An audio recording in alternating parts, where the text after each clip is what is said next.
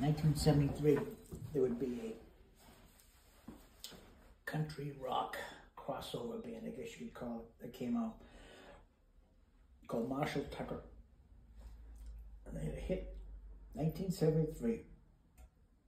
And it came back at 1975, I think, a live version of it um, with a flute uh, solo in it, which was really great.